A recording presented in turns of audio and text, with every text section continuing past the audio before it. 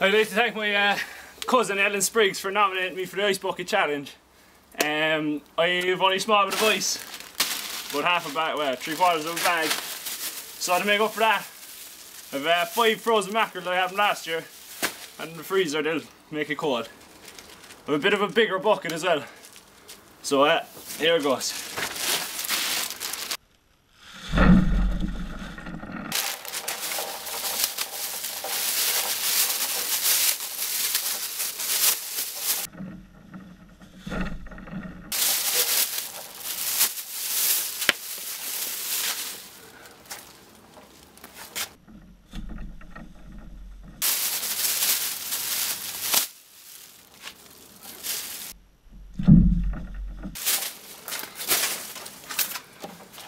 I'd like to nominate Dan Gill, John Armstrong, Katie Murphy. You have 24 hours.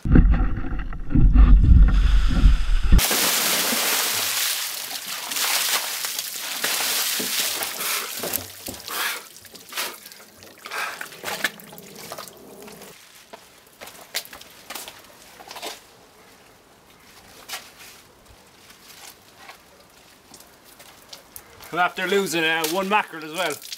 We'll probably find it once the sun comes out. So I'd also like to nominate Johanne Olivie, the Ice Bucket Challenge. 24 hours.